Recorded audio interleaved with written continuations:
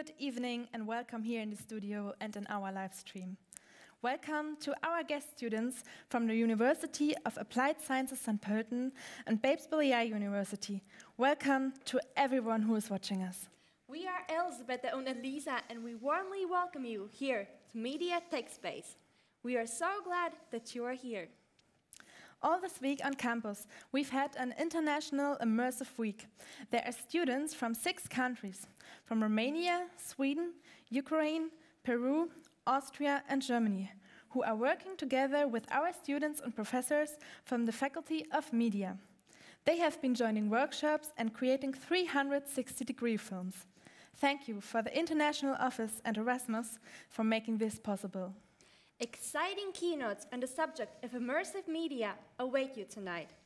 We have invited three exciting speakers who will tell you a little bit more about Immersive Experience Lab, Mixed Reality in Industry 4.0, and 360 degree storytelling. If there are any questions in the audience or on our social media, feel free to write them in our YouTube stream chat or save them for later and ask them here directly in the studio. Of course, to make our event more impressive, we have invited a singer from Romania and a band from Leipzig. You will hear them. They will accompany us tonight. Every year in November, we, students from the University of Applied Sciences Mittweida, organize a media congress to speak about the media world and the latest media trends to understand how fast the media field is changing. Although the Medienforum Mittweida 2022 will only take place on 23rd and 24th of November, we could hardly wait until our event, so we decided to join this immersive week. We organized Media Tech Space as a little pre-event and a little insight into what you can expect from us in fall.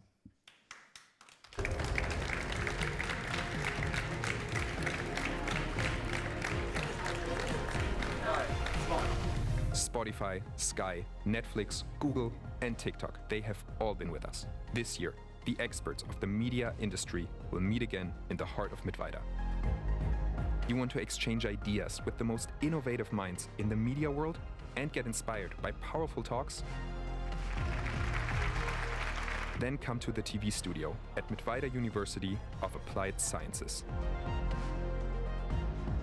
In our panels, you will get exclusive insights into the most important industries and the latest super trends, which you should not miss.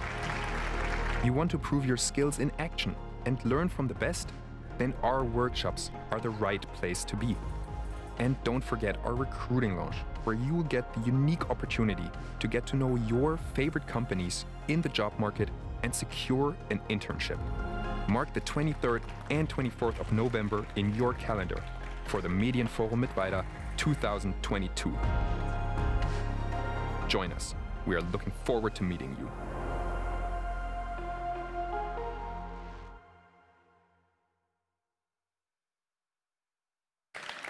The first, the first speaker is a professor from Technische Universität Dresden of the Faculty of Computer Science.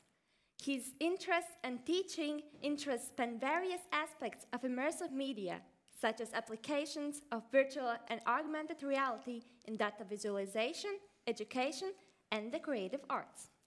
Particularly, he has been very active in a lab of Technical University Dresden. This immersive experience lab conducts interdisciplinary research into the foundations, technology, applications, and implications of immersive media. Media in which virtual and remote people, objects, events, or worlds are experienced as real and present. This evening, he will tell you more about his recent project. On our screens, a professor from Technical University Dresden, all the way from London, Paris, Sydney, and Berlin. Please, big round of applause, Matthew McGinity.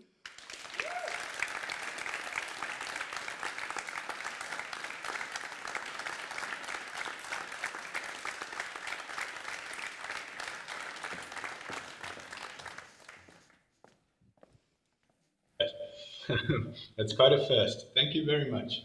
Um, you've done some of my work for me too. My first, the first parts of my talk are just to introduce myself, but I don't have to do that anymore.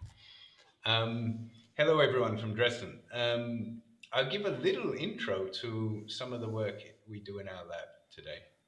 Um, uh, see how we go in the little time we have. And I'll try and explain some of the different experiments and projects that we're working on. Now,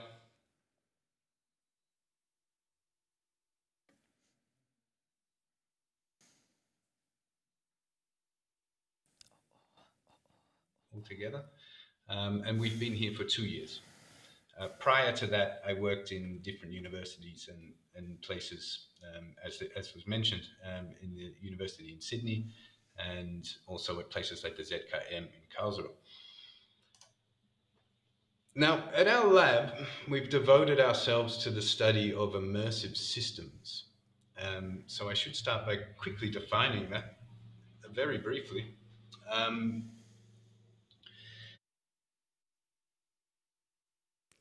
remote, virtual, or fictional that in some way resembles, in some way, resembles the experience you would have were these things real and present.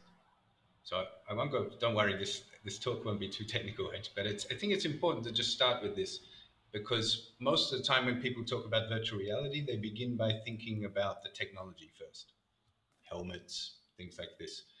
Um, but what's important to note with this is this definition does not dictate any particular technology. In fact, it might not even use computers. Um, and in fact, some of the things that we study or we talk about are, you know, pre-computer immersive media, um, like the wonderful panoramas of the 18th century. So that's one thing to note. And the second thing, just to be clear, we're not talking about um, you believing that things are real. So it's not this. We're just saying some aspect of your experience is somehow resembles this. And we're also, um, it, we're not talking about recreating necessarily the real world. So this may also be applied to completely fictional worlds. Um, so let's see where we get from this. Um, some of the systems we've used to give you an idea of the diverse technologies um, in the past, we've worked with big panoramic projection systems like this one, um, which give you a stereoscopic kind of panoramic view um, that which you can't see in this image here, but when you're standing inside this thing, the these uh, you have a real experience of space and distance. Things are blasted out into three dimensions. Um, and with this system over the years in Sydney, we developed many applications such as um, training simulations for under, underground coal miners. You can see them here working as a team and navigating through a, um, a virtual replica of a coal mine. Um, so this will give you an idea of the types of technology we've used. And more recently, we, we use, we turn also to these new head-mounted displays that are, um, have finally become, um, you know, usable uh, in a, in a way. Um, and this is an example of a project um, by a, a, recent student of ours who built a, um, a full body um, kind of laboratory for exploring different ways of changing your, your appearance. Um, so what we have here is um, full body tracking and then a kind of an avatar. And then he explored different interfaces for painting yourself with different materials. Let's see if I can get the to skip forward. And this gives you an idea of the kinds of things we're working on at the moment. And here he is manipulating his body like this.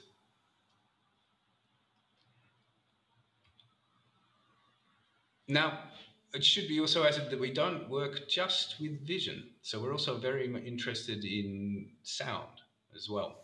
Um, so one of the techniques we use, which we we we um, we borrowed from and George Miller, George Bures Miller, where they um, they developed a technique of recording with special binaural microphones. Either you put the microphones in your ear, or you use a microphone with artificial ears, and this has the effect of capturing all the uh, let's say, the acoustic cues that are provided by these funny shaped things on the side of your head. Um, now, what we've discovered, um, well, what Janet Cardiff discovered is something quite wonderful, is that if you listen to these recordings in precisely the place you made them, then it becomes quite difficult to tell what is used quite a low kind of low tech approach, but we're able to achieve a kind of a, a fidelity of realism that you just could not achieve with vision at the moment. So head-mounted displays, things like this, are, are not able to fool you to the degree where you, not yet, not quite, where you you can't tell if something is real or not. But if we if we work just with audio, we can start to achieve these kinds of levels of immersion. We also work with touch, and this is an example of a kind of experiment where we're, we're exploring the interrelationship between vision and touch. Um, and we're exploring why it is, um, in this particular case, what it is most important about um, when you touch something, when you see the visual cue, if it aligns or not. It's quite interesting, actually. I, I should comment on this. One of the most peculiar things about virtual reality especially in the state in the last few years, is that you're more most of the time invisible. You can't see your body, we, um, which is something I guess we would have all dreamed to experience for a long time. And so, you know, what what would it feel like if you could not see yourself? And it turns out that it's quite unsettling. It has a it has a disorientating effect, and more than this, it seems to have a an effect where when you touch things, but you can't see the hand that's doing the touching, um, you don't really feel like you're seeing the thing that you're touching. Also, there's, a, there's things how to glue your, your touch and vision together. And these are other experiments where we work with audio. These are sound speakers, and we can play sounds around the room.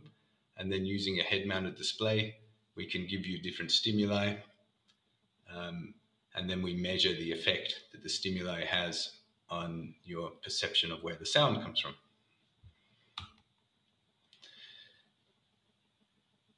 Now, one of the things that kind of emerges from all these experiments, I guess why we do these experiments, is we're kind of interested in the bigger question of why it is that some things are perceived as, as having a certain realness and other things aren't.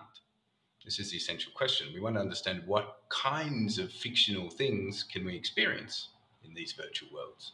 Can we experience anything as real um, or not?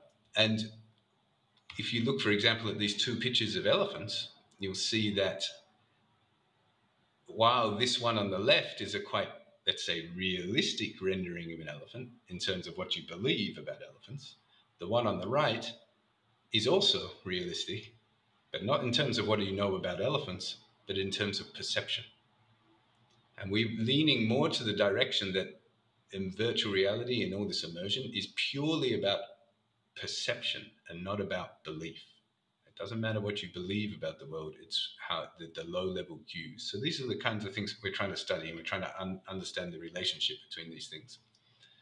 Um, and one of the theories that we study is that the most important thing is that all your perceptual cues agree with one another.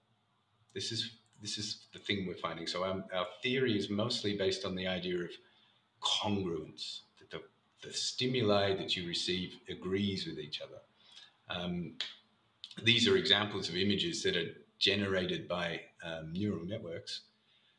And here, these are good examples of things that have a certain realness, but no cognitive realness. In other words, you cannot recognize these objects and you cannot identify any objects in these images, but they have a certain realness. And because that, and this is because they have a certain low level perceptual congruence. So this is the kind of thing we're investigating.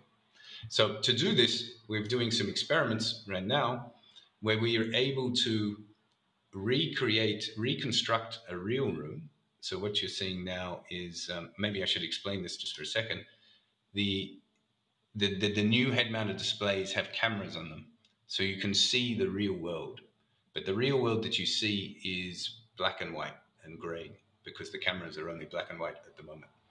Um, but what we found is, for some reason, even though these images are black and white and grainy, you trust that you're seeing the real world And we want to understand why it is that you trust that that's the real world. And here, what we've done to unpack this is we've made a virtual copy of the real world. And what you're seeing now is transitioning between the real world and the virtual copy. And it's more or less impossible to distinguish between the two. You'll see a little bit here that the bed, the bed covers move because um, we were unable to keep the room exactly the same for so many months. And so these are some of the apparatus we're using to study this.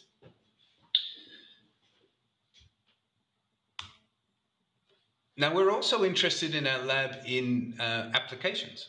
And so the, the, I've given you some examples of kind of the, the perceptual kind of theory that we're investigating, but we're also interested in how we can use this, um, this immersive media.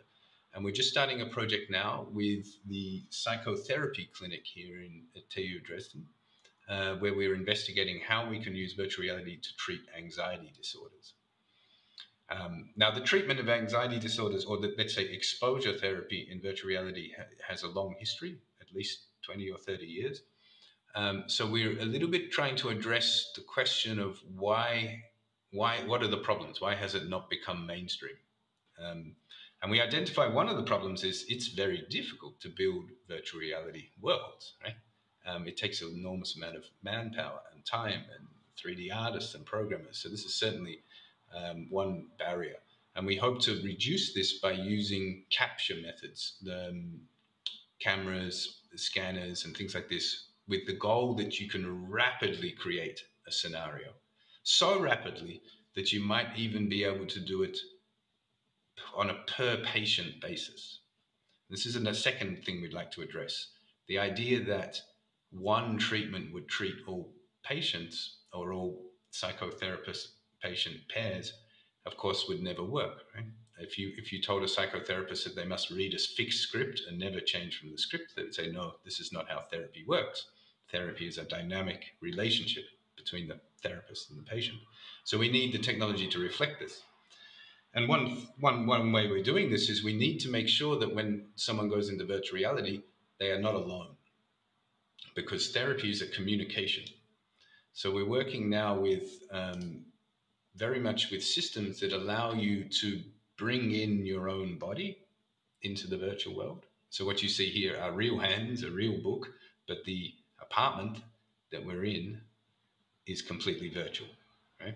And this means that the therapist can go with the patient into the virtual world and they can have natural communication. This is one of the one of the things we're beginning to work with. And you can see here, for example, we have the classic example of walking on the plank, but now you could actually walk the plank with someone. This is quite an extreme example, but um, this is the kind of thing that this, this would make possible. So this is what we're beginning with, and we're very, we very much, uh, we've, we're very enamored with this idea of you never being alone in virtual reality.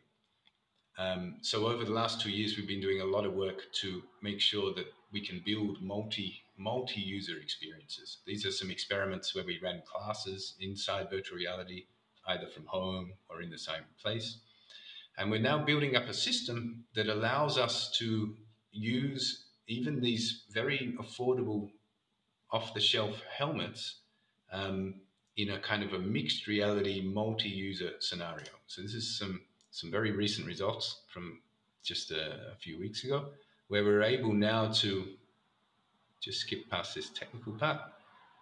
We're able now to all go into the room and we're all able to see the same thing and we're all able to see each other. And on top of that, we're all able to see a mixture between the, the, the physical things, the real things, and the virtual world. Um, and we're finding this is transformative. This really helps enormously in all kinds of applications, this kind of thing.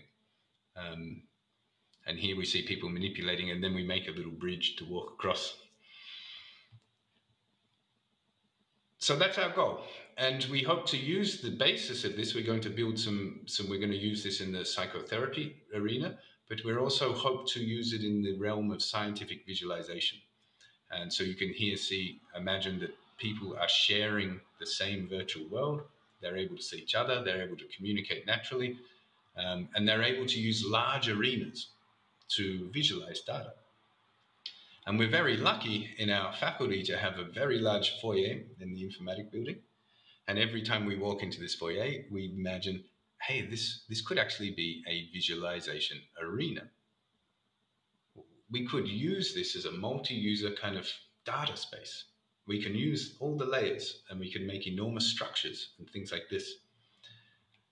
So we scan the building and we build a virtual model this is a photo. This is our virtual model. And now we have an, the capacity to align these things together um, and then introduce into the world virtual elements. And what's fascinating is these these head these head mounted displays. The tracking on them is sufficient that you can walk around, you can walk upstairs, things like this, and it all just works. So you can now use architecture as a way of seeing data. And once you start to see spaces, like once you start to think like this, you see spaces, real spaces, quite differently. You start to think, oh, wow, I could use this escalator or I could use these stairs to see virtual things. And so this is our goal. And we've even found, I don't have a video, unfortunately, that you can, because our elevators have glass windows, you can even ride the elevator up and down. And you can ride the elevator through virtual, virtual elements. So what we're doing now is bringing this to life, we plan to augment our space with giant structures, abstract forms, and turn our foyer into a form of kind of living data space um, where we can share collectively these, you know, giant abstract presentations or, or even uh, have virtual kind of mixed reality lectures, things like this in the space.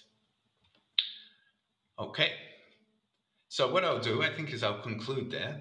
Um, I hope that was a, that was a very rapid introduction to some of the things we're doing in the lab. Um, I hope not too fast. And um, I believe now, if I'm if I'm not mistaken, we we have time for questions.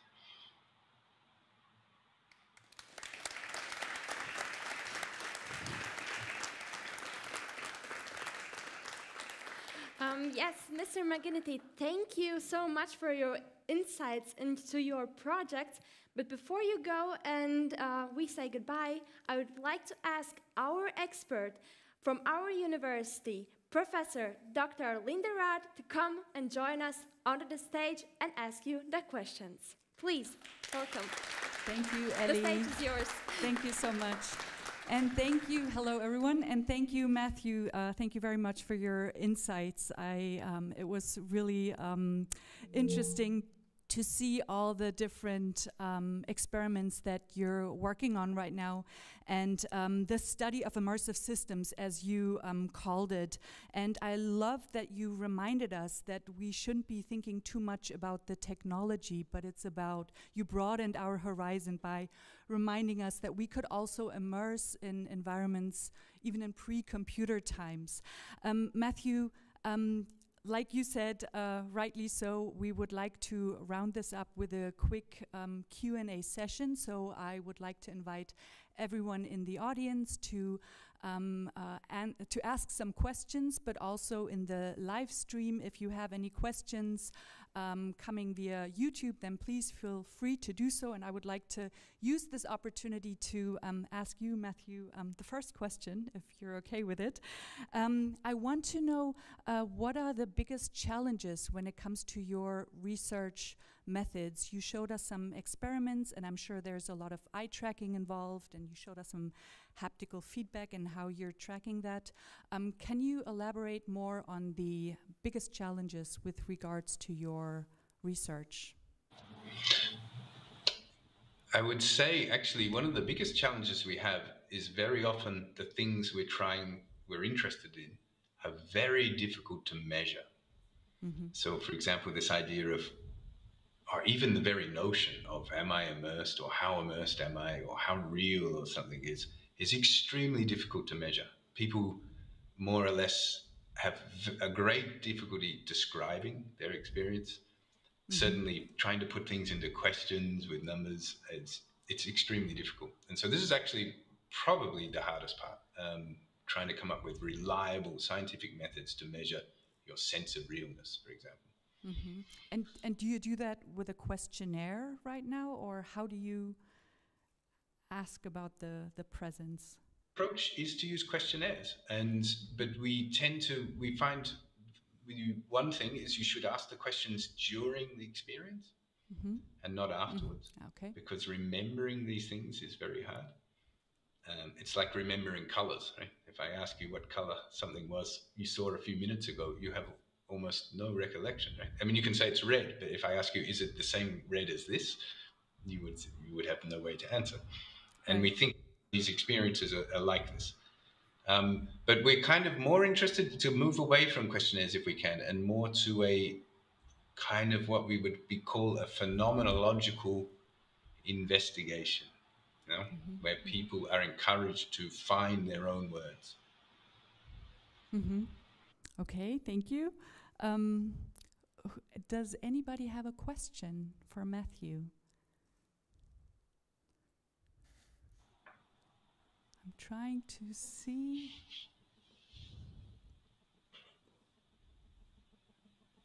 Yes, yes, sorry, I didn't see you. Hi, Matthew. Uh, even though you said uh, we must not focus on the technology for itself, I have a technological question. Uh, to scan and align uh, the real world or a real building with uh, the scanned 3D uh, world, how much traditional 3D artistry knowledge or 3D program knowledge is uh, needed, or do I need to advance into informatics as well?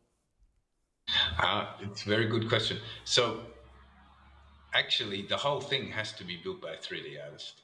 The the state of the art with scanning is that you cannot produce um, accurate enough results especially when your building is entirely made of glass and mirrors and things like this. So what we do is we take a scan and we use this as a guide to then rebuild rebuild it. And to date, we've tried many, many automated methods to go directly from scan, and it's still just an unsolved problem. Yeah, um, and how do I align these two worlds, the real world and the uh, the remodeled world, is therefore needed any informatic knowledge?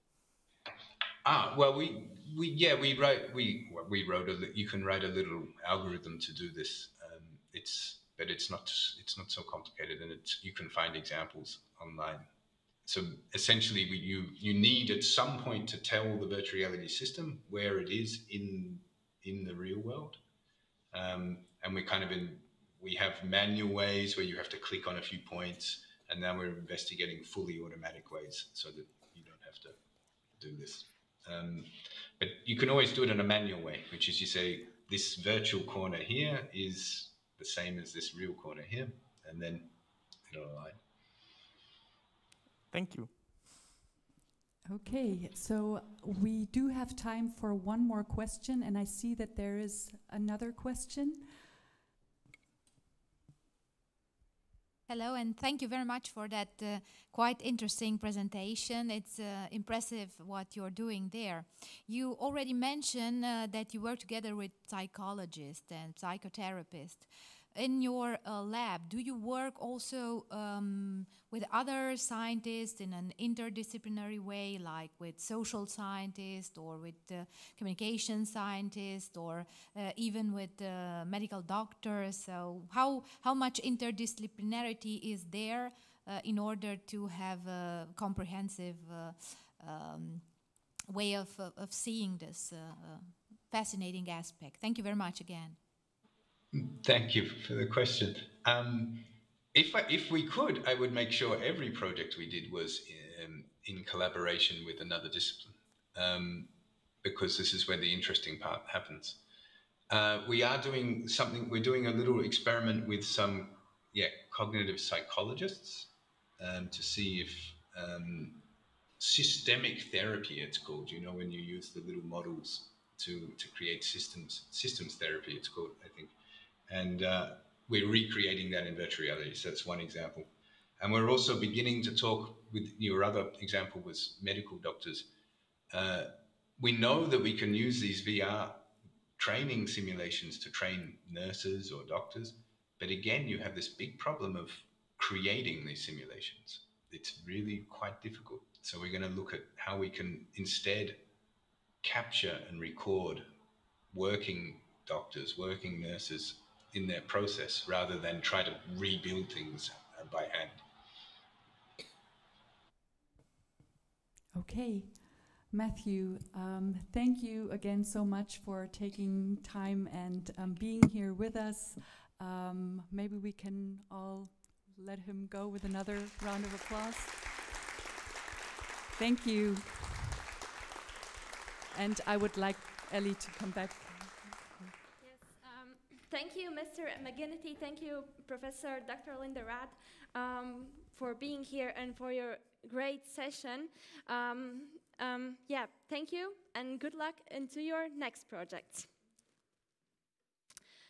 As you already heard, we have some guys here from Leipzig from the band Zweiersitz. They call their genre neo hippie pop. Between instruments and synthesizers, a surprising musical world with vintage vibes and urban grooves opens up, which is sometimes aesthetically dancing and sometimes lost in thoughts and celebrated. Doesn't it sound fantastic? Well, let's hear what the band has prepared for us. Let me introduce Joke und Micha from Zweiersitz.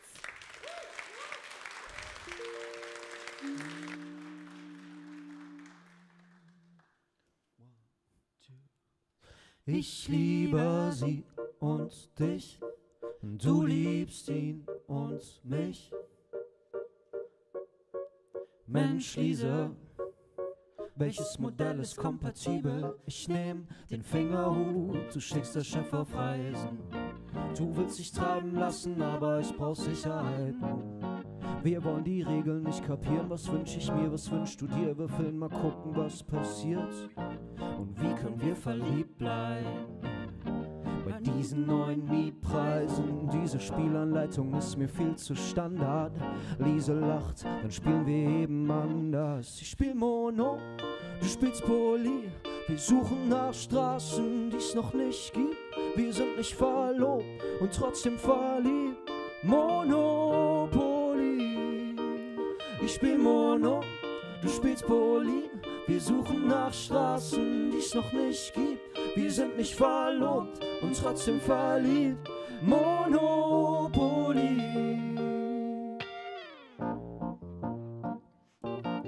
Diese Vorurteile sind ja übel.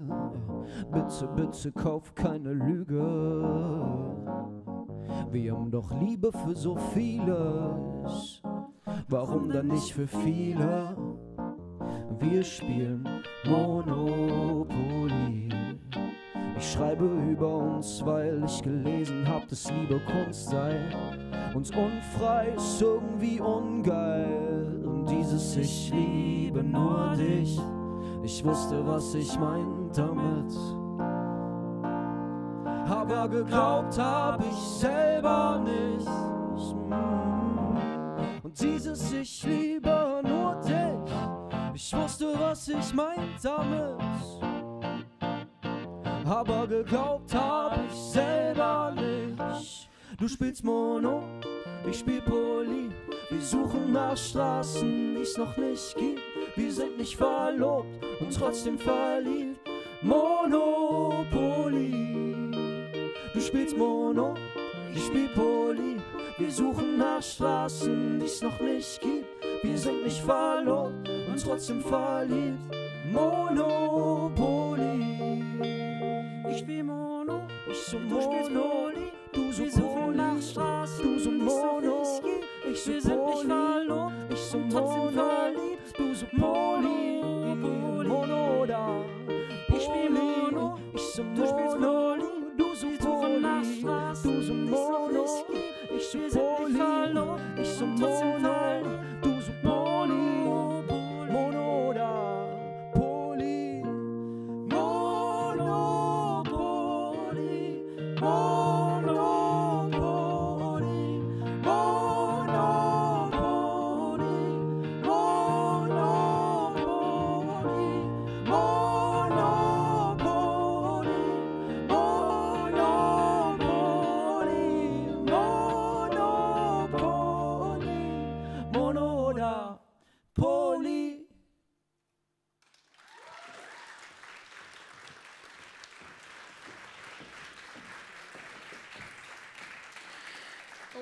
A great song, guys. Thank you. Thank you. So much. Um, yeah, if I'm not wrong, this is not your first time here in the studio, right? We were here 2015, I guess, when we played at Yeah. your festival. Yeah, Oh, and how does it feel to be here again? it's like coming home to mama. oh, sweet. Um, I have a very popular question nowadays.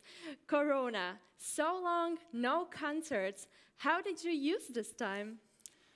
Uh, it was actually not too bad for us because we uh, already planned to write new songs and write an album, and we took a year off and wrote a, an album. Then we would have liked to start again, but then we waited another year to finally play our tour to the album we released last year. Yeah, sounds great. And maybe you can tell me what is the album about and what it's called. The album is called Seifenblase. Uh, it's like bubble, and it's like uh, it's telling about our social bubbles and how they pop. Oh, cool. I hope that in the summer we will hear this bubble. Are there any events, concerts, or festivals planned?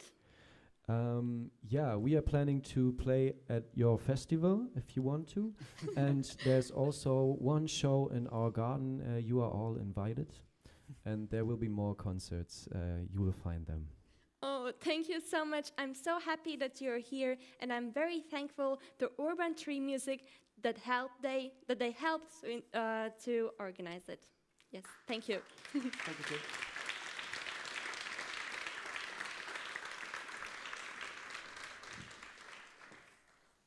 And so we are continuing with our keynotes. We just learned about the Immersive Experience Lab, where ideas were developed and implemented.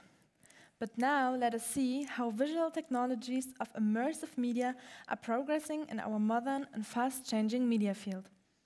Industry 4.0 is growing steadily and is a major user of virtual and augmented reality technologies. These technologies allow operators to acquire critical knowledge in a simple and visual way, allowing for more efficient execution of tasks. To get to know more about it, we have invited our next guest, a computer scientist from Potsdam, COO of Fragments. He is mainly concerned with product devel- development and programming and works a lot with 3D storytelling. Since 2015, he has placed his professional focus on immersive media and, in addition to technology, has dealt with usability, accessibility, interaction design, and ethical issues. Now he has been working with mixed reality in Industry 4.0 to answer a question about how far companies can utilize mixed realities for improving processes. And he agreed to tell us about it. A big round of applause, please. Stephan Gensch, COO of Fragments. Uh, thank you.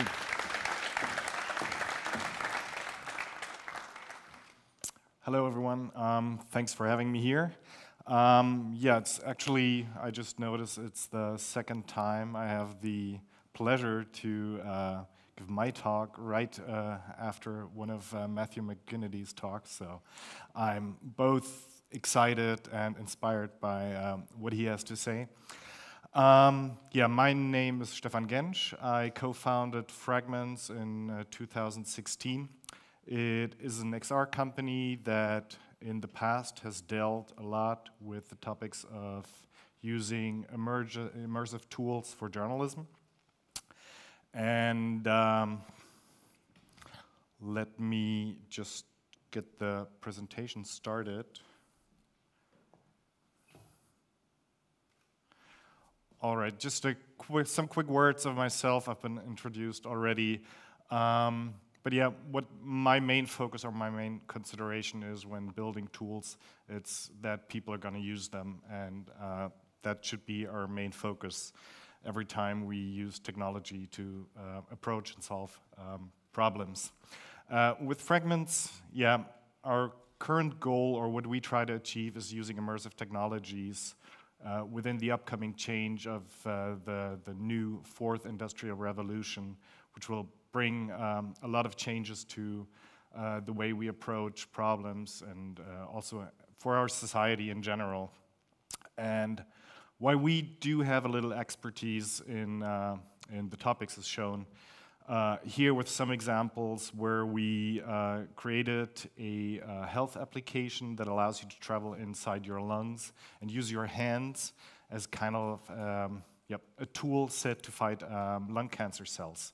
Uh, and also uh, use it to control yourself inside the body and kind of fly like Superman uh, within the body. Um, the uh, top right part is uh, a screenshot from an experience we built with uh, subway station Stadtmitte in Berlin, which um, was a VR mini game uh, that told you about indoor location, indoor navigation, and um, yeah, also giving um, uh, insights into uh, how different people would move through a place like that that's not uh, overly accessible. So, for example, uh, people that are bound to wheelchair uh, would have to uh, go completely different routes than, than people who can use stairs. Um, we also did a small, uh, nice, or well, not really nice in terms of the content, but uh, it was a wonderful piece in collaboration with Deutschlandfunk Kultur and Jana Wuttke, who dug out um, original audio material from um, a, from the last uh, prisoner of uh, the Stasi at that time, and uh, we created um, a, or we gave viewers the chance to, to witness those talks um, between the interrogator and the interrogatee. And uh, the last uh, part of this slide is an, an, actual tool that we built uh, for creating 360 interactive stories. People can just upload content and um, create interactive pieces from that, and Deutsche Welle and Euronews have uh, been contributing to that and uh, have also used it to um, tell quite a lot of stories, and it has been funded by the Google DNI uh, at that time. We also do think a lot about how users can actually use immersive content, and we've seen that um, headsets are not overly available uh, all around, and so we thought, okay, what could be like the the least thing that we can offer to still produce an immersive experience. We said, okay, let's just do a browser and the scroll wheel of a mouse. And that's what we built with uh, Tagesspiegel. You just scroll and you immerse yourself in an interactive way in the uh, Berlin airport, and you can learn a lot about the things that have been going on there. Um, now we're gradually shifting and, and, seeing, okay, we need applications also in uh, industry parts. And uh, that's where we are envisioning something um, we would like to call uh, immersive maintenance management systems. So systems that would allow you with data headsets to go somewhere and do operations there. And we had, starting that project, we had um, a pretty strong vision and we were really keen on, on, on, doing something like that, but we noticed there's a lot missing on the way to go there. So to achieve real digital transformation and to achieve yeah, getting real products of value out, uh, we need to do a lot of things uh, before we can do that, and that's just baseline data, digitization, digitalization, and then we can transform these into uh, very cool stuff. So just as a summary, um, I thought a bit about, okay, Industry 4.0, what does that mean?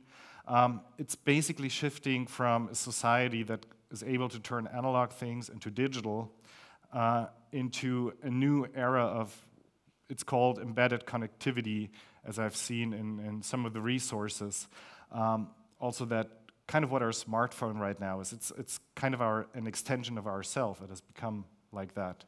Um, and that is basically beyond digital. It's, it's really using the digital features and keys to produce more and more uh, things and applications um, on those. And the key themes around Industry 4.0 is that it's a world that's interconnected. Um, digital and analog entities are able to communicate. They do that in a transparent fashion, so uh, the, the knowledge that's inherent in the system is available to all the players that have access to that.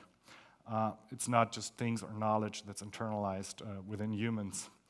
Um, and it has features that assist people in doing their job. And it's, yeah, also decentralized. There's no core entity that basically holds the truth in themselves, but it's available for all the players uh, in that. So those are kind of like the themes we want to go to. And to do that, uh, we have a lot of work uh, um, before us. And uh, just to touch on a few things of, of uh, recent developments, um, just yesterday, I think it was, May the 4th. Um, Spectacle, which is uh, one of the yep, side products of Snap Inc., uh, has released a video showcasing what their new smart glasses can do, and it's pretty amazing. So there um, are quite a few applications in, in retail and entertainment uh, that focus on, okay, we augment or yeah, we augment basically the real world uh, with interconnected people that can join together in experiences and yeah, just enjoy digital content that's not just superimposed, but it feels really integrated into the real world. And to do that, we have a lot of disciplines that also come together. So one of the last uh, advances in capturing the real world uh, was another post that I found and thought that was interesting. And I also like the question about uh, the challenges of really how do we capture what's real. Uh, and then we need uh, people to understand and, and be able to also use the devices that are, are given to us because with uh, immersive technologies, we have a change in interfaces. We even have interfaces that are not there, that are just virtual, uh, displayed in front of us, and we still have to interact with them in, in some fashion through gestures, through maybe still touching close points in, in, in the air, and still getting some sort of feedback, so there's a lot of design going on. Uh, and Dennis Kunert is actually one of the guys uh, I follow that uh, does very impressive work, and he's a constant output almost daily, new experiments, and I find that very uh, inspirational. So, talking about applications, where do we want to go? Um, in automotive, it's uh, already starting to being used for collaborative design, design reviews, virtual showrooms, so using that even in retail, that customers, people can go there and see a car that they want to uh, buy in reality in front of them. They can walk around, uh, try different things. So it's basically uh, the, yeah, from the 90s, the configurator DVD on steroids. Um, and but there's also for the people working there in the production chains, there are tools, uh, guides, um, hands-on training, so people can do on-the-job training with uh, virtual assistants uh, yeah, which gives um, yeah, onboarding a, a, quick route to, to become an experienced uh, um, co-worker in that. Architecture, engineering, and construction is one of the main drivers actually for um, Industry 4.0 mixed reality applications because it's been done for quite a while and a lot of that um, foundational work, um, the digitization has already happened for a long time. So 3D uh, CAD applications are um, yeah, just super common from planning uh, through construction. And now it's kind of, um, the, the, main challenge is how do we uh, get the digital uh, towards the analog in the real world when, when constructing it and building it. And uh, yeah, there are tons of, of, of, tools and players right now that are trying to uh, work in that field and advance. Health. Um, we have seen some examples in uh, um, yeah, assistance or health therapy. Um, Matthew has talked, for example, about um, uh, apps that help you um, encounter certain situations.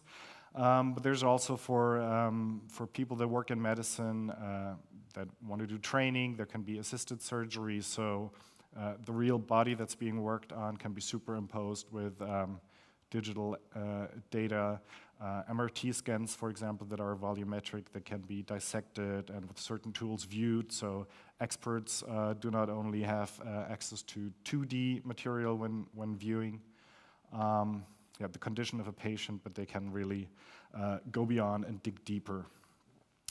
In agriculture, and, and uh, I think this is one of the examples where the real world is quite strong, um, and the, um, the, the, digital is not uh, yet super visible, but in the end, you'll have a lot of um, things in, in, such a system that produce data, and you have a, um, a, large need to produce something meaningful from that data because you need analytics uh, on the status of the plants, on the light, uh, on all the energy consumption of the whole system, the water, uh, and you need to automate um, the, yeah, basically giving back to the, to the system.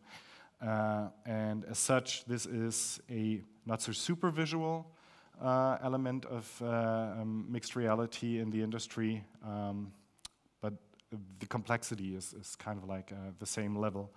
And in retail, um, maybe some of you have already used the AR functionality when uh, either viewing products or when trying to place them, for example, in, in your home. And yeah, a lot of retailers make use of that technology and place artifacts in your room so you can um, try them out. Um, there's a lot to be done in order to actually bring these applications that at the surface look quite tiny and small and easy. Um, but you need a lot to, to um, actually build those things. And when starting out on a project, the main thing or the main focus I would recommend is really pinpointing the problems you want to solve and um, really defining well uh, the target group that you're building um, stuff for. So for example, it could be a decision-making tool, or it could be a training tool, or it could be something in production that helps people better achieve their jobs. Then the things you have to do, you have to check, okay, what are all the artifacts I would need for such a, uh, a tool? And then you need to check the digitization chain. Okay, can I produce everything that's analog? How can I best get the digital versions of that? What else is needed? What, what else, what other data do I need? What processes do I want to run on? And yeah, basically building from the data into there. And AI and computer vision is also a tool set that can be employed. Um, I would say it can reduce a lot of work that needs to be done when, for example, capturing and cleaning data. Um, we have to know that a lot of those algorithms produce something that is statistically what we want, but it might not be exactly what we want. So we have to be careful when employing these uh, methods. Digitalization, so everything making use of that data, transforming it, is uh, the next key element um, in the process chain.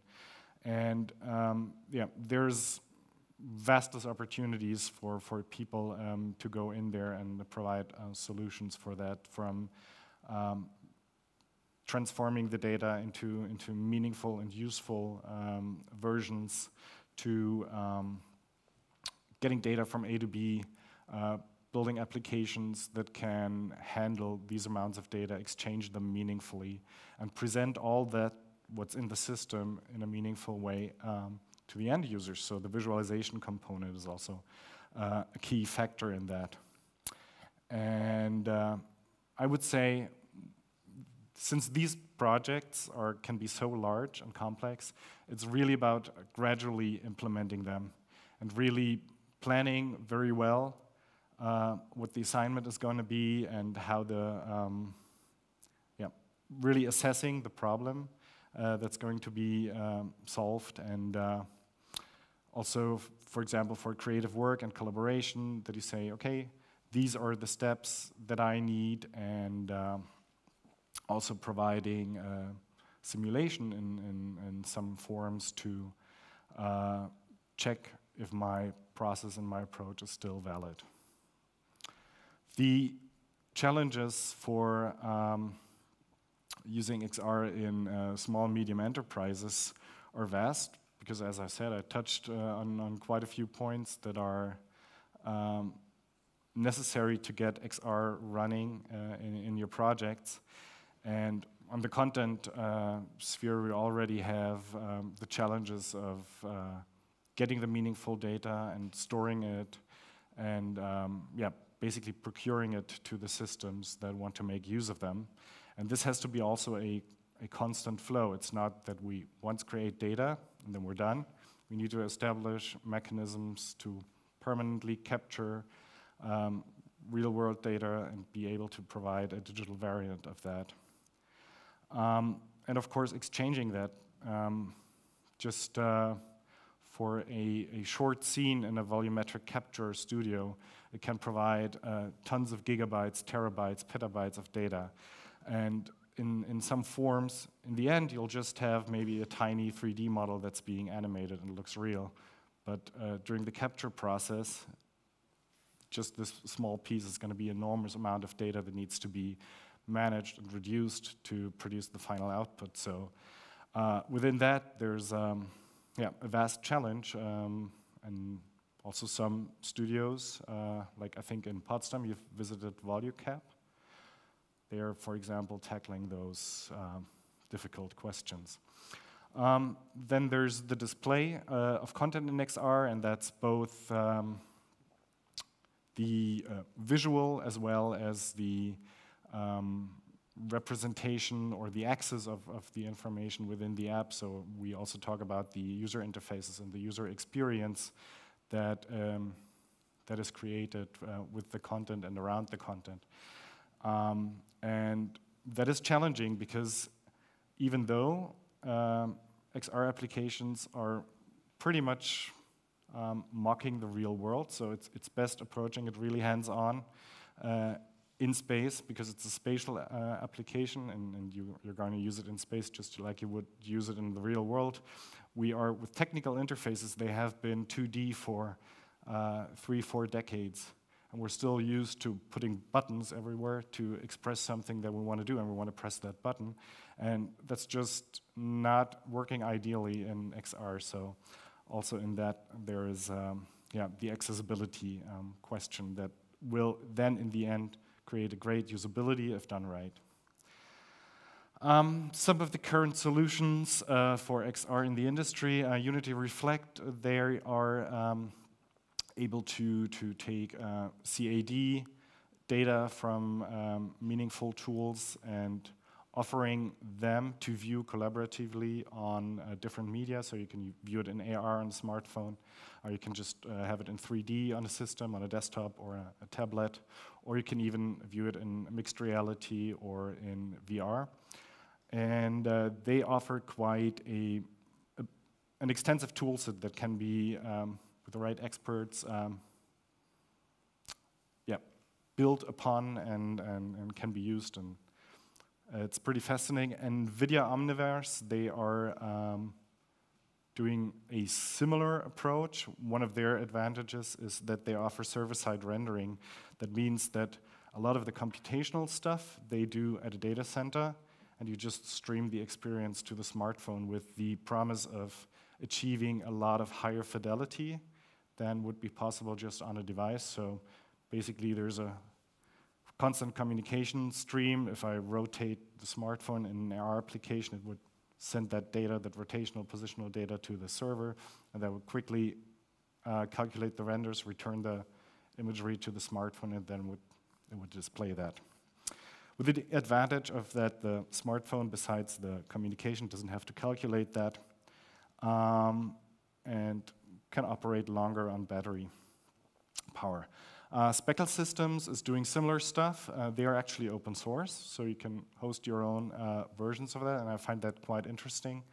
Um, because thanks to the AEC industry, there's been a lot of standardization already in that area, uh, which is good, and open source communities can profit from that because they can also build on these standards.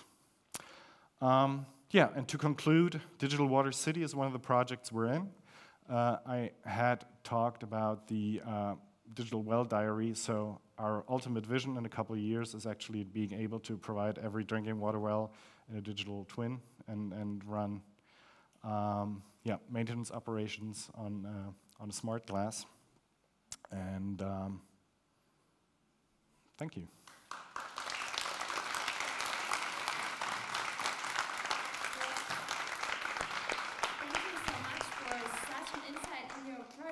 different fields. Um, I find it interesting, and I would like to ask you a question. What exactly sparked your interest in virtual and mixed realities? Um, it has been actually a very particular event. Uh, it's been the Basteltage at uh, data journalist uh, Lorenz Matzat's uh, offices uh, at that time in Berlin, where I saw the Oculus DK1 or 2 for the first time. And I said, I want to try building some stuff. And he gave me the opportunity to uh, yeah, actually build some experiences and do some experiments. And that's when I said, okay, I want to make a living from that. So uh, get interested through self uh, through doing it. Yeah. Very interesting. Thank you so much, and we will see you later in our Q and A. But for now, big round of applause, please. Stephan Gensch. Thank you. Yes, uh, wonderful. But through the immersive week, between our guest students, uh, we met a rising star, Yvonne Mas. She comes from Romania. And one month ago, she released a new song called Ignore You. I'm very excited to hear it here in the same studio. Please welcome and big applause, Yvonne!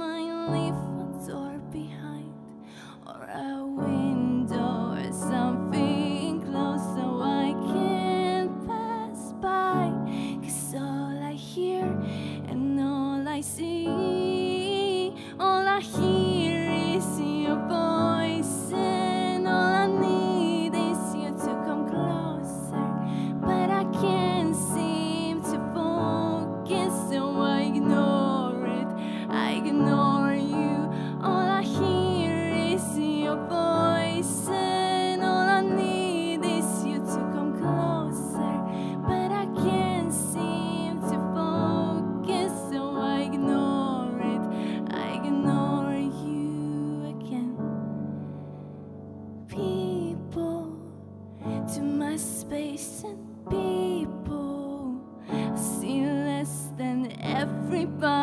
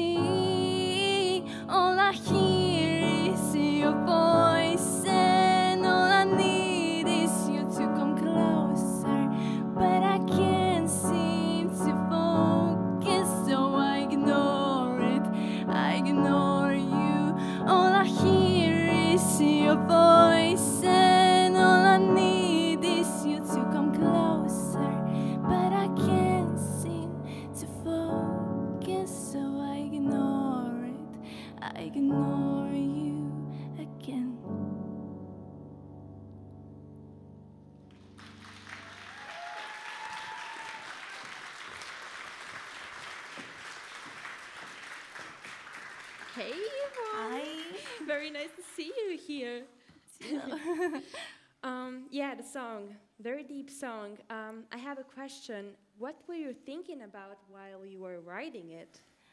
Well, it's about a fear, like you know that small uh, voice in your head that you, that are that is telling you, um, okay, do that and do that, and uh, yeah, it's uh, like a fear. Like I want that fear to come closer, but uh, I ignore it so can go forward. So that's about. oh, yeah, really interesting.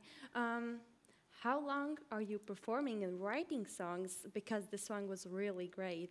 Thank you. Uh, for like a year and or a year and a half, like this. Really? Yeah. Only a year? Yeah. Wow, then what are your plans for the big uh, music industry? I would love to go worldwide. This is my dream. Worldwide. Well, that's a very powerful world.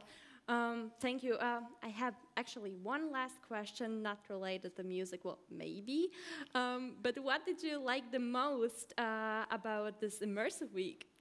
Oh, it was amazing. I had a really nice experience uh, with a VR project, and I can wait for more of them. Oh, sounds so good.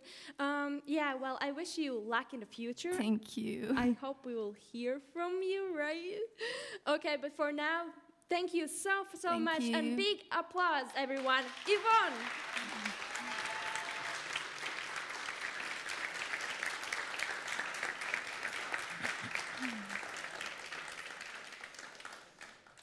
As now we have got a little insight into the virtual world, we would like to continue with something similar, but concentrate more on the media field, meaning a study on virtual reality films. We have invited a guest from Austria who works mostly on the development of new film formats, design and communication, media, and moving images. She is a lecturer and works in the St. Pölten University of Applied Sciences, Department of Media and Digital Technologies. She is here this evening to tell about her study in 360 degrees of storytelling and has been doing research that, that examines the presence of people in virtual reality films, for example, by measuring heartbeats. Furthermore, she is here and will talk about it. Let's welcome with warm applause Professor Dr. Rosa von Süß from the St. Pölten University, University of Applied Sciences. Please come on stage. Yeah. Thank you very much for this great introduction. I have my notes with me because the research is really fresh. So we um, finished the paper yesterday. Thank you for the uh, whole week, Christoph. Thank you for the invitation, Linda. And thank you, students, that you work so, um so good in producing films. We will see tomorrow the films. Uh, we leave them alone. Um, now I'm talking about um my ongoing research project on immersive video interaction that investigates cinematic virtual reality to gain a better understanding for narrative based interaction. Uh, we rewrite the scripts and feeding back the films to flowcharts. And furthermore, we explore presence, as Matthew mentioned before. It's a very interesting and complex thing that is necessary in um, immersive media. And um, we used biometric da- data considering the influence of interaction. And our investigation addresses selected cinematic VR. Here you can see a cube map um, on this chart. Yeah, this is a cube map.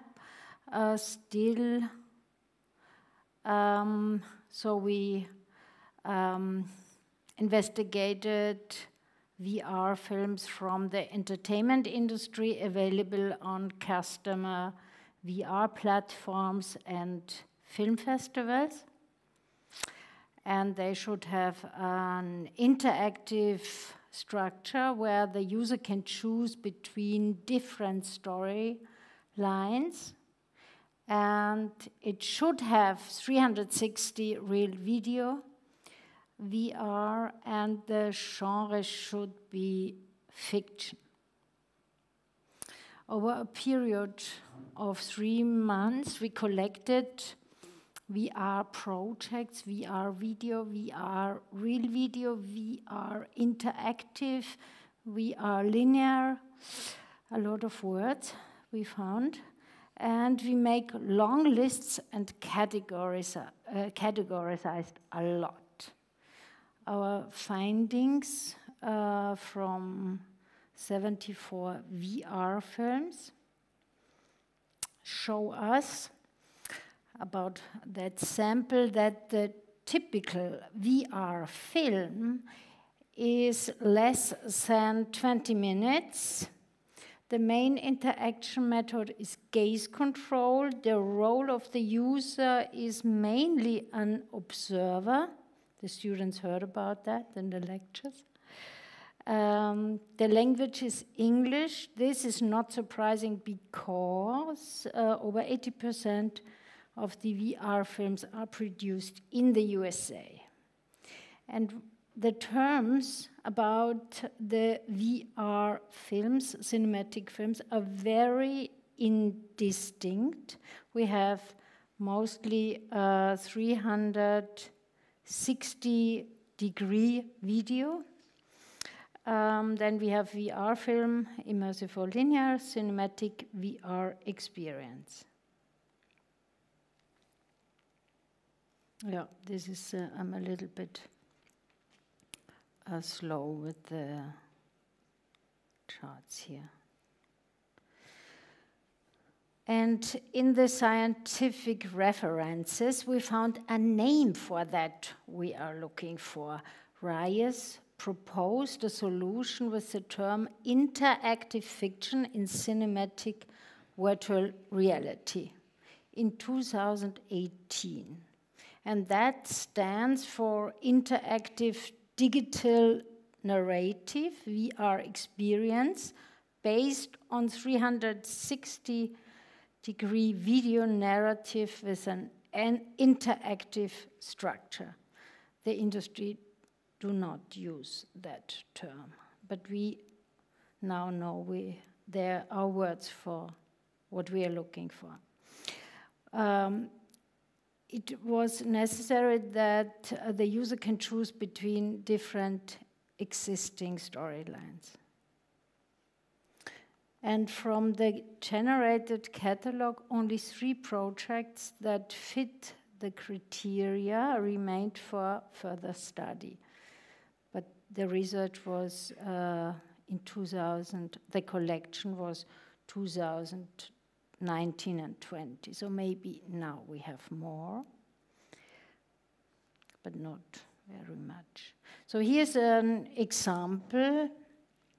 Broken Night by Benari, 2017, tells a story of a couple who arrives at home and starts to fight. They get interrupted by an intruder that is killed in the end. The perspective is from a police interview after the event and later in the story, the user takes on the wife's point of view in at the police station. This is only one. There are only choices between two options.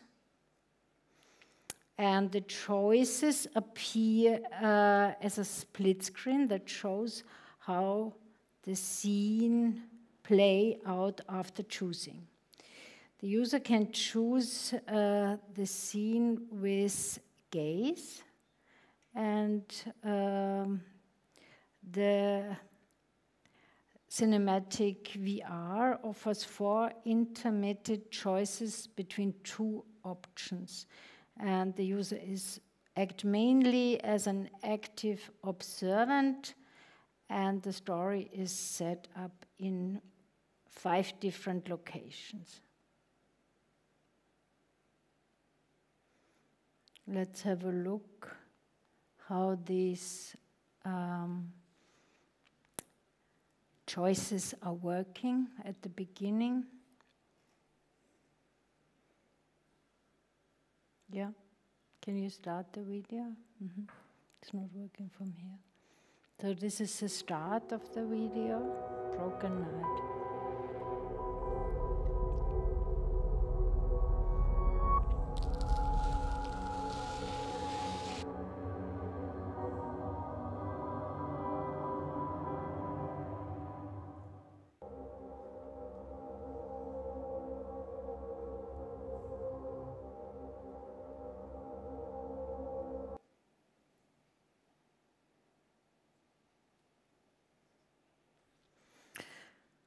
Um, this is an exposition to learn how the interaction is working. Yeah. Thank you.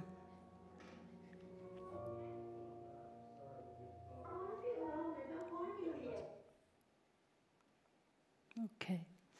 Uh, these three films have in common that the user decides between different story branches, how the story continues, and two cases with visual cues.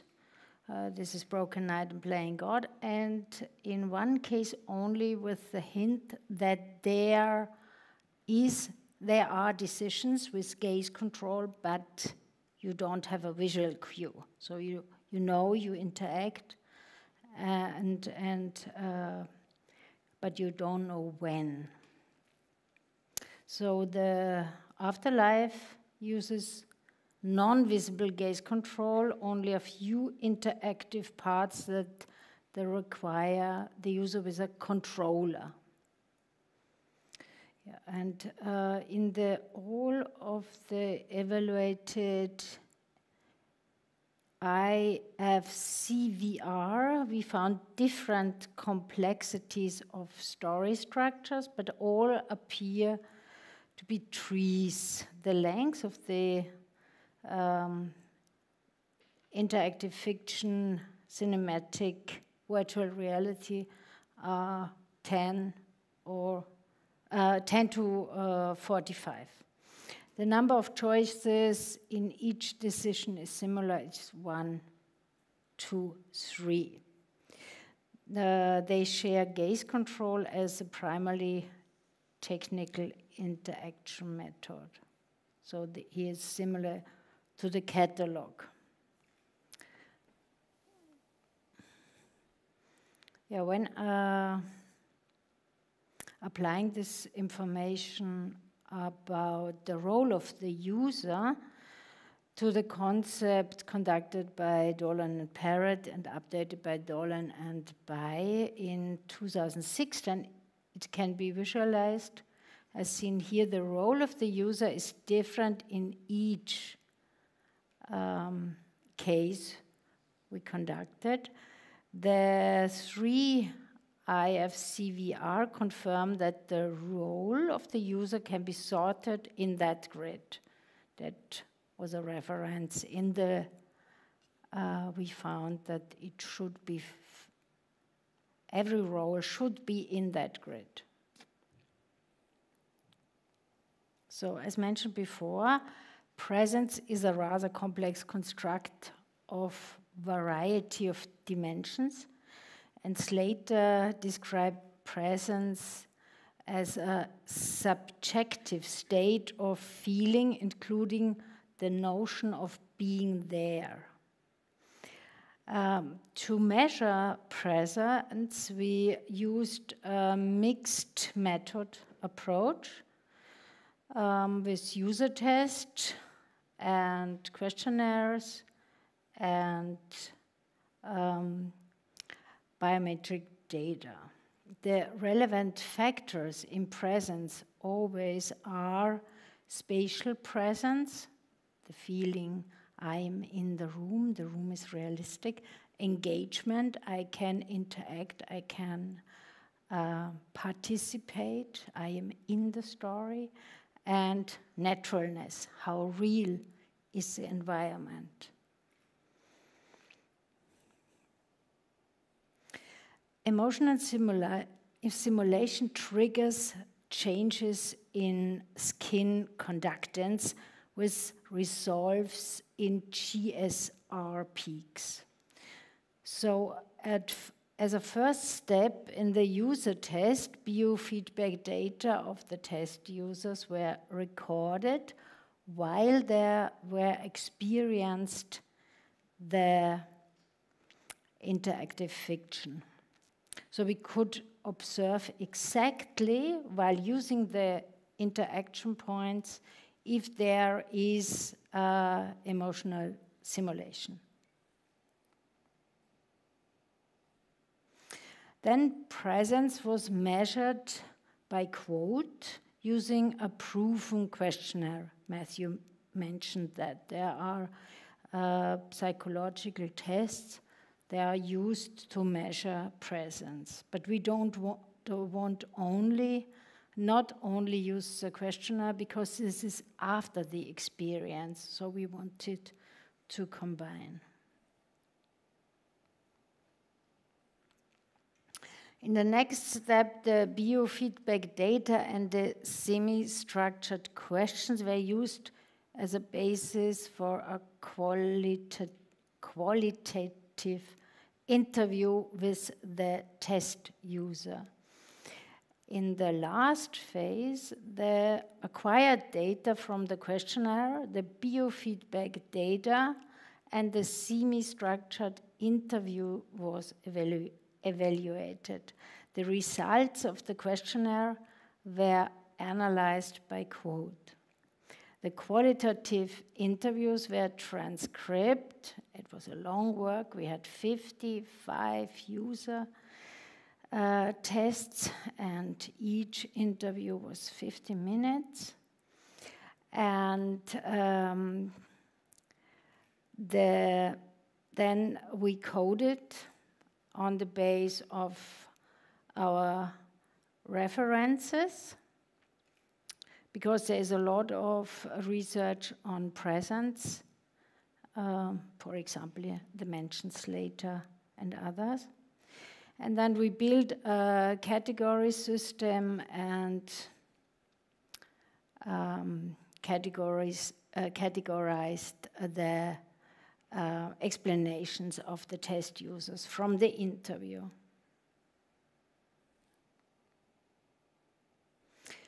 Uh, the evaluation of the skin conductant, uh, conductance data showed that in addition of other factor, uh, factors uh, that trigger peaks like plot, story, camera work, sound, uh, we could found peaks at every decision points.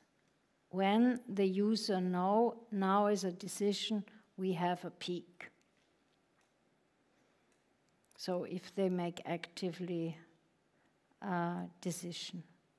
Here you can see the peak's heart rate, as mentioned before. We didn't use the data because um, it was very sensible on the movement of the test user. So we uh, excluded that. And facial control, we excluded that for um, data because of the head-mounted display. It's difficult to only have the mouse.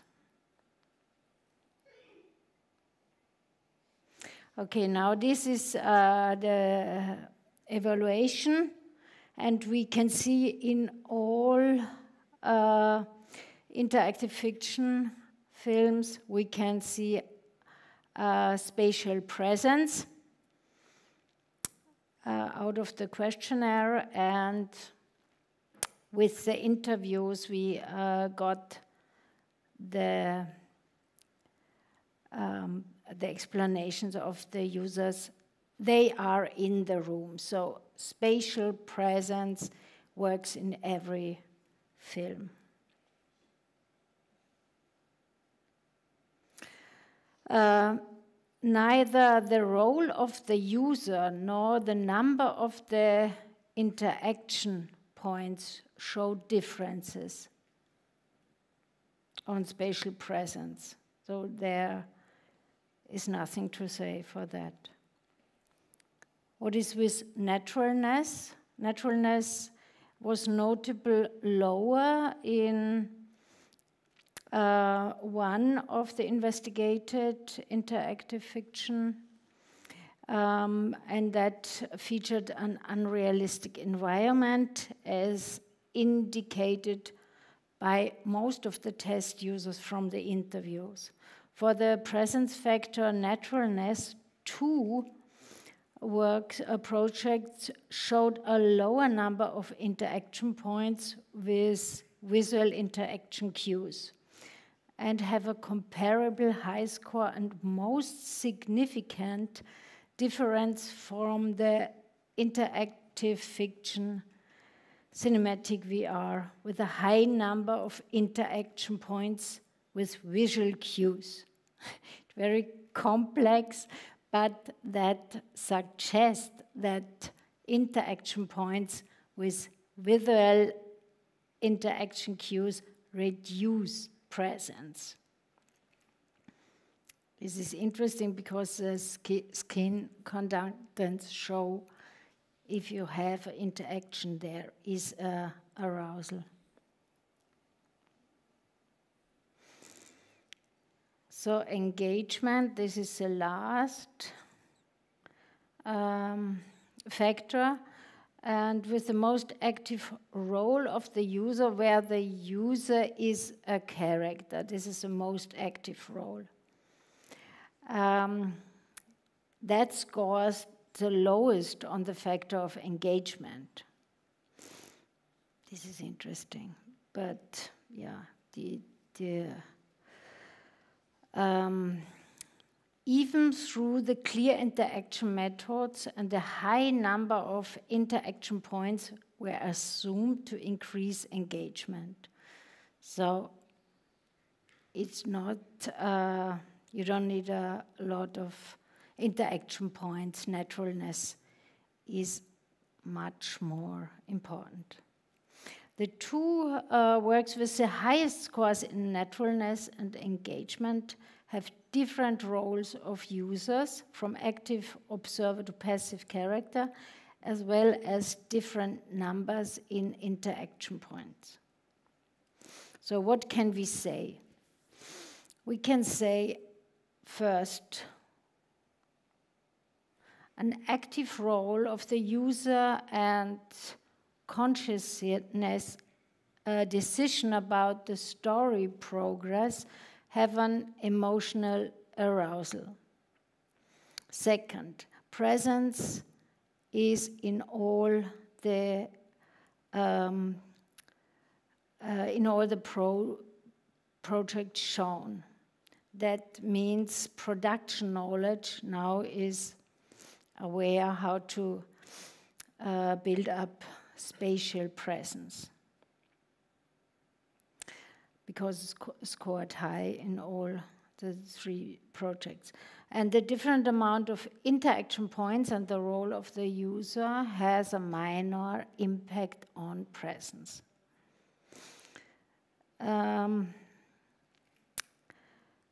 the research showed then that uh, the technical interaction method is relevant because interaction points with visual cue reduce presence. Yeah, thank you very much. For this was it for today. There are other data we can evaluate because uh, we had this three method approach uh, this is a team at the University of Applied Science in St. Pölten, and we are guest here. Thank you very much.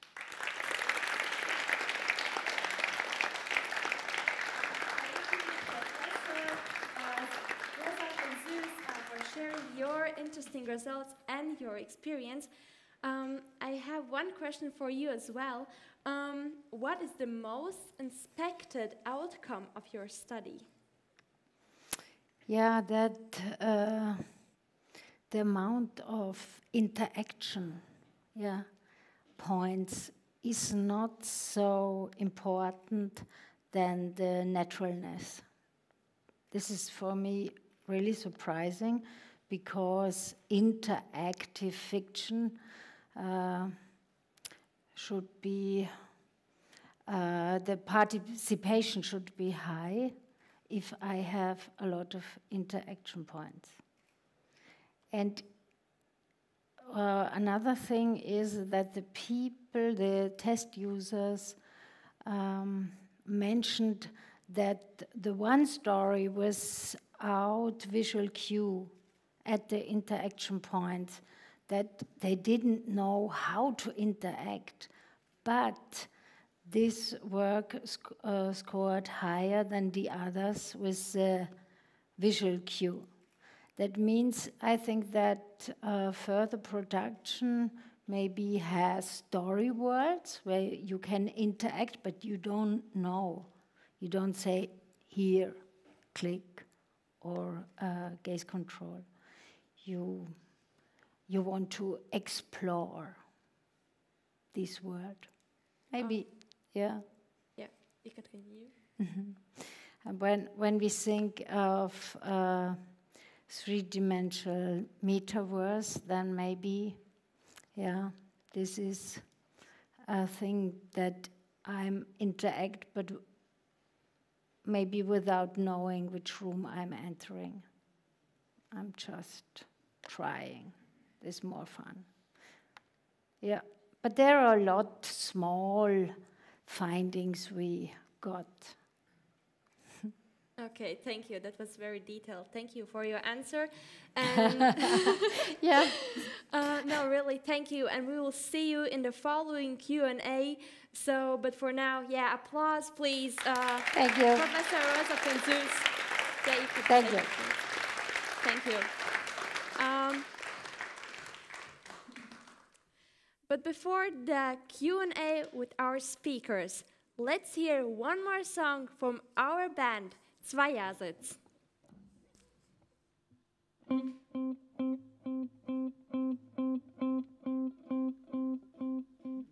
Irgendwo, nirgendwo. Wir leben irgendwo, nirgendwo. Irgendwo, nirgendwo.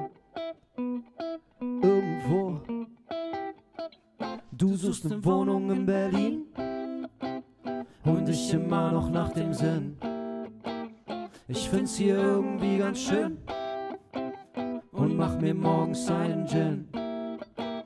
Mm, ich zieh Tomaten im Garten meiner 3 Hektar WG. Du ziehst dich Karten auf dem Amt in der Sonnenallee. Du kennst deine Nachbarn nicht, aber denkst, sie seien nett. Mein Nachbar bringt mir manchmal Kaffee ans Bett und 12 Euro der Quadratmeter. Die Stadt ist doch korrupt. Dich nerven Minuten, wir warten hier Tage auf den Bus und unser Pferd springt nicht viel höher als es muss. Und unser Haus ist tausendmal geiler, geiler als alle deine Clubs, irgendwo und nirgendwo. Wir leben irgendwo und nirgendwo. Falls ihr uns sucht, wir sind irgendwo irgendwo und nirgendwo. Ja, wir glauben, es ist besser so. Besser so irgendwo und nirgendwo. Falls ihr uns sucht, wir sind irgendwo. Irgendwo und nirgendwo.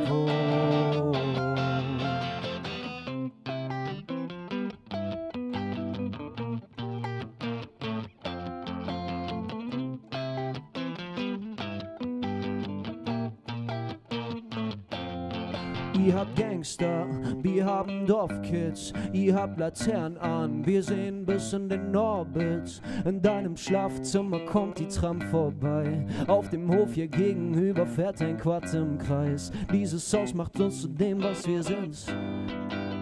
Endlich macht das Leben einen Sinn. Dieses Haus macht uns zu dem, was wir sind. Endlich macht das Leben einen Sinn. Und 12 Euro der Quadratmeter, die Stadt ist doch korrupt. Dich nerven Minuten, wir warten hier Tage auf den Bus. Und unser Pferd springt nicht viel höher als es muss. Und unser Haus ist tausendmal geiler. Geiler als alle deine Clubs. Irgendwo und nirgendwo. Wir leben irgendwo nirgendwo. Falls sie uns sucht, wir sind irgendwo. Irgendwo nirgendwo. Ja, wir glauben, es ist besser so. Besser so irgendwo nirgendwo. Falls sie uns sucht, wir sind irgendwo. Irgendwo nirgendwo. Ja, ja. Ich zieh Tomaten im Garten meiner 3 Hektar WG. Abend in der Sonnenallee. Du kennst deine Nachbarn nicht, aber denkst, sie sei nett. Mein Nachbar bringt mir manchmal Kaffee ins Bett. Ich zieh Tomaten im Garten meiner 3 Hektar WG. Du ziehst Arschkarten auf den Abend in der Sonnenallee. Du kennst deine Nachbarn nicht, aber denkst, sie sei nett. Mein Nachbar bringt mir manchmal Kaffee ans Bett. Dankeschön.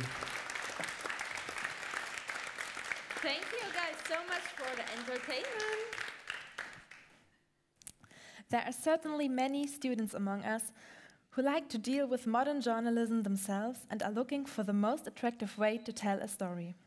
That's why we are now looking forward, together with Stephan and Rosa and our host, expert Professor Dr. Linda Rath from the Mittweida University of Applied Sciences from the Journalism Department, to discuss modern storytelling in line with innovative concepts. Yes, and you all are welcome here to prepare your questions in the audience and, and in our live stream because soon you will have the chance to ask those our speakers. But now, please, Professor Dr. Linda Rath, come onto the stage and take a seat. Thank you very much. And please, Stephan Gensch, please join her. Professor Rosa, please. Um, yeah, and then the stage is yours. Thank you, Ellie. Thank you, Elisa. Um, as you mentioned, this is another Q&A session, so I would like to ask the studio audience to um, ask as many questions as possible. And also the audience in the live stream, you're more than welcome to ask as many questions as possible. Stephan and Rosa, thank you so much for um, uh, giving us more insights about your um, projects uh, that you work on and um, the business that you established. Uh, full disclosure, we um, co-founded Fragments together, so I'm very well aware of the projects that you're working on. Um, Again, I would like to take the opportunity to ask the first question, and I would like to start with Rosa. Um, Mm-hmm. Mhm. You talked about um, the production knowledge um, at, at the end um, of, of the summary, and I was wondering how does the future of 360 production look like, based on your findings? Yeah. Uh, the of 360 degree video, maybe we don't need that. uh, maybe we get uh, other words. It's more than, uh, you don't need 360 or 180, for example. So is that very similar to what Matthew said at the beginning, that immersion doesn't need a lot of technology? You, you get that feeling of immersion um, with a panoramic view of something? Well, that uh, Matthew meant other things, I guess. Uh, he wanted to put uh, other topics to talk about and not only about high resolution or the next new camera. So, this is not the importance. The importance is uh, uh, do we need interactive fiction? or do we have interact uh, uh, environment in the internet? And I guess uh, the interactive fiction film, maybe it's a state between, but it shows uh, interesting uh, um, facts for the um, um, new um, environments at the internet where I can interact with uh, uh, people. You have a project No, this was Matthew. This uh, interplay in groups, yeah. Mhm. Yes. and you Um, can, if you can map the environment and change it, you don't need the film. You can go into the world.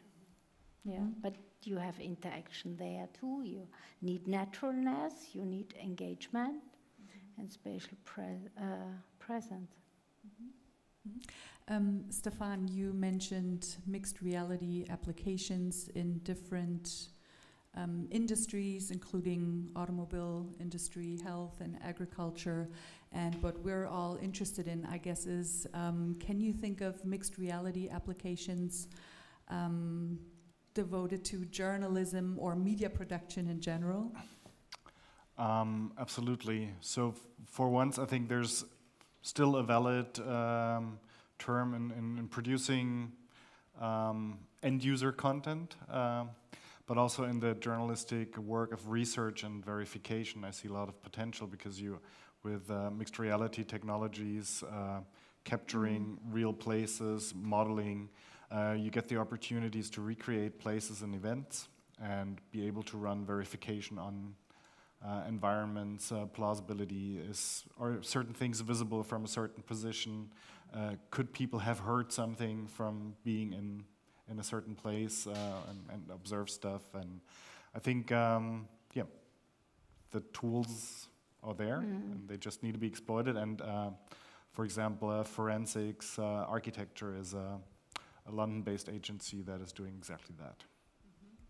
And can you tell us more about the skills that you specifically need for not only creating the applications, but also um, producing for a wider um, audience within the eco within the mixed reality ecosystem? hmm Yeah, so there's for once the content creation side of it, um, being able to um, yeah generate what's actually appearing in 3D in the application uh, from either 3D modeling by hand or um, yeah using photogrammetry, videogrammetry methods to produce um, yeah or to produce point clouds uh, similar to what Volucap's basically doing. Um, static captures or even motion captures in, in that case, which is highly interesting. But then still you have to clean that data, um, as um, Matthew explained. Uh, we've done that in one of our projects uh, too with uh, uh, the August Macke um, studio, where we had a, um, a capture, but the model itself was so coarse that we could just use it as a mold, and then our 3D artist has basically created a, a cleaner version of it that was then um, in the in the final application. Um, yeah. So content, and then of course story, story, story design, everything in there. Yeah, I think that's what we've been doing over the past um, days. We've been creating 360 projects, and I'm really looking forward to seeing the the outcome uh, tomorrow. Um, I've heard some great feedback so far, but I'm, I, I haven't seen uh, that many yet. So, um, do we have any questions for our speakers? Yes, up there is someone.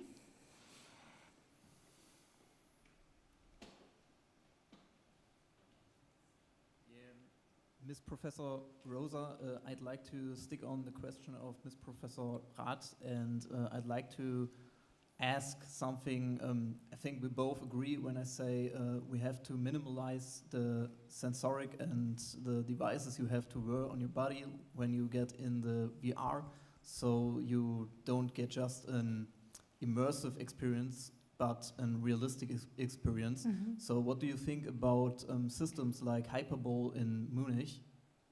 And did you think this is a possible way for customers to get in this VR in maybe few months, years? Well, Hyperbowl is a volumetric studio, or can you explain Hyperbowl? I don't know. I don't yeah. Hyperbowl is a um, VR studio where you can create, um, for example, movie films and uh, advertisings. Yeah. Yeah, the, you mentioned virtual production and the 3D modelings with in-camera production. So this is uh, clearly the future. yeah. It is clearly, yeah. That was what I meant before.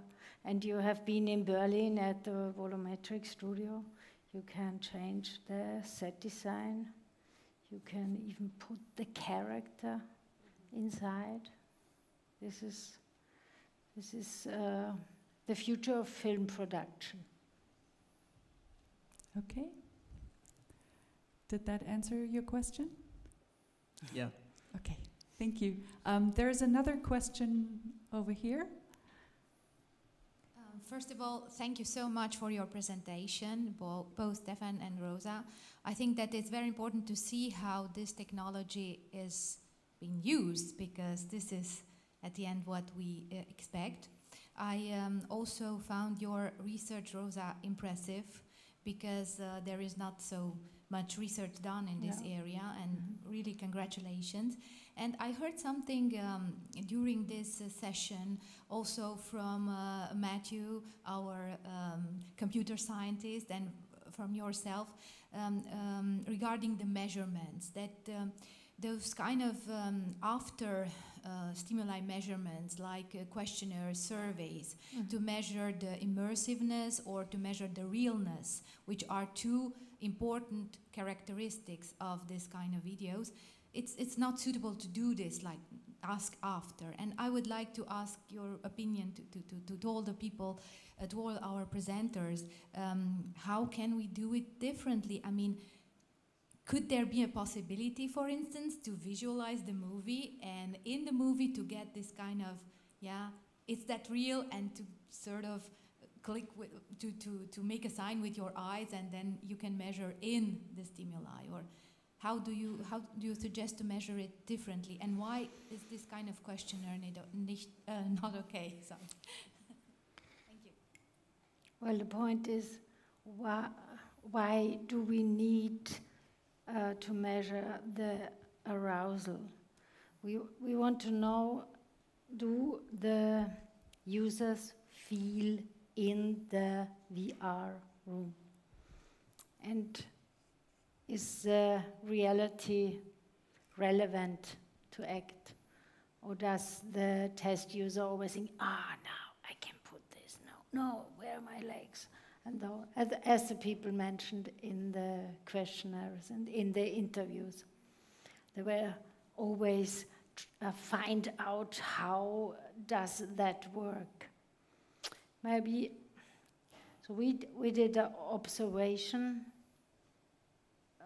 during the, the uh, experience with video and with measurement. But I think the most important thing is that the people can describe it. Maybe focus groups are very good. Why not? And you can um, record what they are talking. Maybe they should talk while they uh, are in the experience, as we know from gamers. But are there no other measurements like, I don't know, like a scale out of um, three, four, five questions that should then allow us to do a more precisely uh, measurement? So nobody developed something like this yet in the science? No, that that there- was my question. There's a lot of development, and a lot of uh, companies want to sell their measuring tools to measure presence. They are really expensive. We used uh, iMotion. You don't, it's kind of black box. You don't know what is inside, and get out the data, and then they say, "Aha, here's the arousal, here's the heart rate."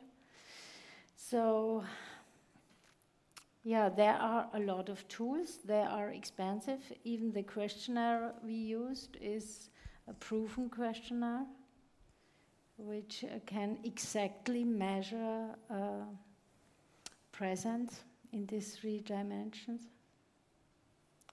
Yeah, Ah.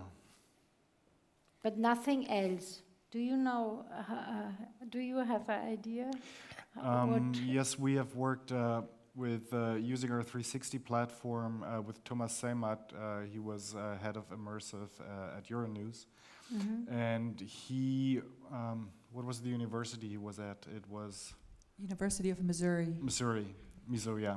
And they did, they conducted uh, some user experience tests where they created uh, an application and put the feedback right into the application, where you could choose, okay, this made me feel dizzy, or how was the degree yeah. of whatever in that concrete 360 scene. So it was consuming, it was a short portion, and right away uh, requesting it. Um, and then the technology itself uh, has a lot of opportunities to capture user metrics on the fly. Uh, we can measure the exact milliseconds, uh, how long it takes to do an interaction, how, how easily and how quickly can users reach certain goals within an application. So when we think, even within 360, this can become a really a big amount of, of, of research data we can, we can use uh, and then in interactive three-dimensional spatial applications even more that are more like games. Uh, and this is also treated as an, an ethical problem. Mm -hmm. uh, I think um, the, the, both the researchers from the University of Mainz, can you help me out on that one? But there's like that one uh, um, paper on um, ethics in VR, and they already talk about uh, that we that every user in a, in a VR application has their own footprint. So the mm -hmm. shaking of the head, um, certain uh, way they move and walk, they're going to be detectable and identifiable. So it's uh, it's um, yeah even a, a, a loophole for extracting user data from there, and of course that can be used for good, for testing, for analysis of uh, the efficacy of uh, experiences, but it can also be a problem. That sounds very dystopian, a little bit be. at least. um, uh, I want to check if there are any questions, Michelle, via the live stream. Do we have any questions from the audience on YouTube? Um, yes, we have one to Stephan Gensch. What do you think? Could those virtual showrooms in the automobile branch, which you showed in your presentation, um, establish or is it too expensive? It's going to be a moment where uh, the devices that we uh, show the content on become uh, more and more available. So for once for AR, we have the devices. Um, smartphones are basically ubiquitous and most of them are AR capable. So um, it's just up to the uh, producers to construct a model, construct an experience, and give give you the opportunity to walk around, configure the car, and, and experience it. It doesn't have to be full-scale VR or mixed reality. Um, and anything else, so I think Spectacle is really making tremendous uh, moves. Magic Leap will announce mm -hmm. its uh, second version uh, soonish or later, I don't know. And I, I absolutely don't care because it's going to be, I guess, maybe two generations of devices, maybe three. Um, and I'm not sure if we have seen the iPhone equivalent yet. Um, Apple is still expected to produce something in the near future. They put their projects, uh, I think, on hold for a while now, so uh, we'll see what's coming there. And um, I guess as soon as the first Apple product is going to be out, I guess the underlying technology or the work done before has been uh, enough for Apple to decide, okay, now it's time to build something that users will accept. So I think it's coming. Okay, so unfortunately we're running out of time. I would like to end this Q&A with one last question to both of you. Um, because we're um, in this immersive week, maybe you both have um, advice to our students um, because I'm sure that some of them, maybe even most of them, are going to want to um, continue working in that space. Maybe you can start, Rosa, yes? Try. yes, I think experimenting, I've, I hear that a lot actually. Mm. I think experimenting is the number one key to I was just going to say as well, quantity over quality at the moment. Try, try, try, try out things that are uh, supposed to be not working, brute force the stuff, experiment. Um, I once made an error in a VR application that made me constantly turn around, and I had that Baumgartner experience basically when he was falling off the sky and tumbling. And I thought, okay, it should make me sick, but it was actually quite interesting. So um, even mistakes can bring up uh, cool results. Well, thank you so much um, for the presentations and the Q&A. And um, thank you to the studio audience for asking the questions and to the live audience. Um, I'll give it back to Ellie and Elisa. Thank you. so much, Professor Dr. Linda Rath for the management, and thanks to Stephan Gensch and Professor von Suess for being here with us today and sharing your insights of your work. Thank you. That was our talk today. We hoped you liked the insights you could get from all our experts who joined us. Yes, and latest trends and interesting introduction. Take all with you, and we will see you on 23rd and 24th of November here in the same studio because we will experience Medienforum 2022 with various panels, workshops, meet and greet, and recruiting launch here. And it, and it is all organized by our team. Let us introduce ourselves. Come, Come on our stage. team, come on our stage.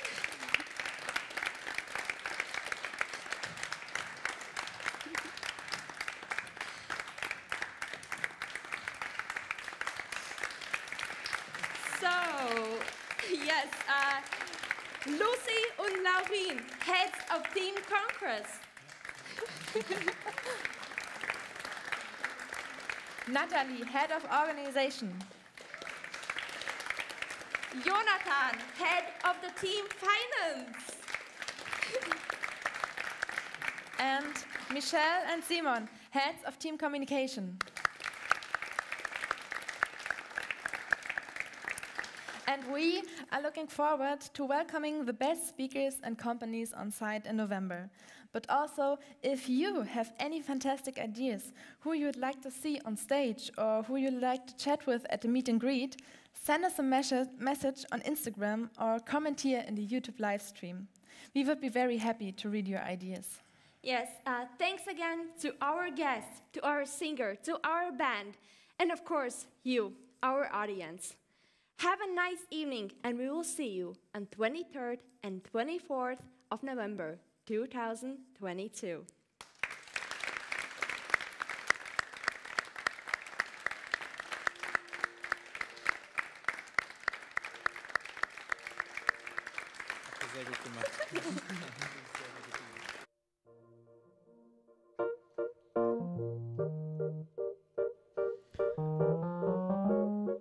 Micha, sind wir echt?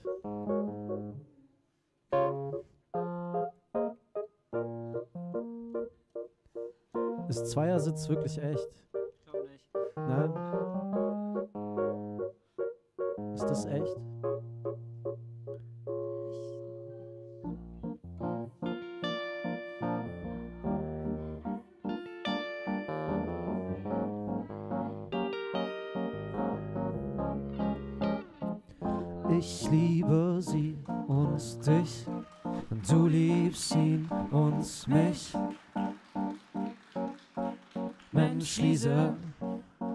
Welches Modell ist kompatibel? Ich nehm den Fingerhut, du schickst das Schiff auf Reisen. Du willst dich treiben lassen, aber ich brauch Sicherheiten. Wir wollen die Regeln nicht kapieren, was wünsch ich mir, was wünschst du dir? Würfeln, mal gucken, was passiert. Und wie können wir verliebt?